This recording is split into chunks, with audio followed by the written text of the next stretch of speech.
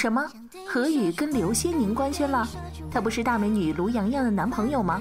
都闪开闪开！何宇是沈月的 CP。有一说一，你们说的都对。这男人不只是太会了，而且是会的太醉了，会到有些网速慢的网友们都掉队了。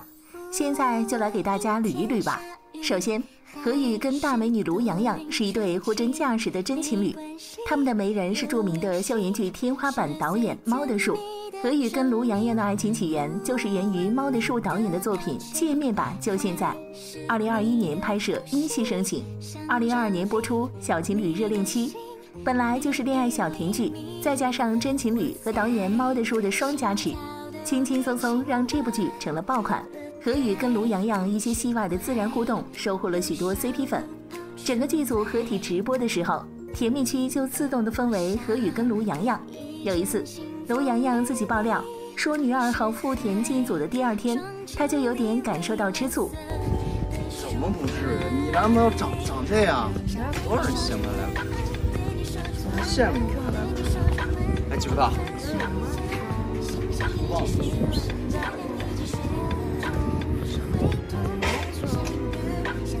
深深指点。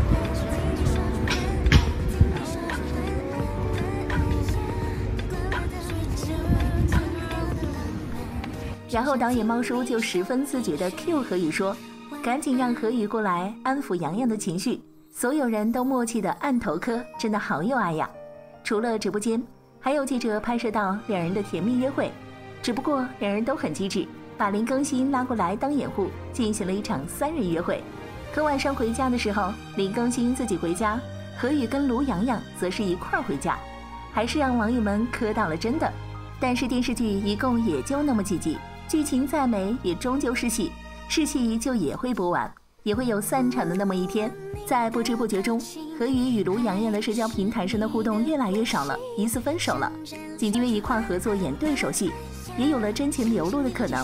两人对视的心动挑战，甜蜜度拉满，让网友感受到这是在看一部恋综。也许是两人也心生萌动，竟然也有了比较深度的话题。两人在节目里聊起了各自与前任分手的原因。何宇询问沈月为什么何宇的睡衣视频就误发在了刘些宁的社交平台上。值得一提的是，刘些宁也是在《无限超越班》中与何宇合作认识的。